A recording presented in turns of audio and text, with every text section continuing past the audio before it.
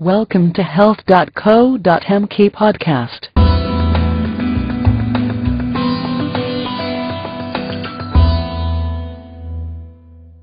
Six tips for keeping your urinary tract system healthy. There are a few simple habits that you can adopt that may reduce risks of problems developing in your urinary tract, such as urinary tract infections, kidney stones, and chronic cystitis.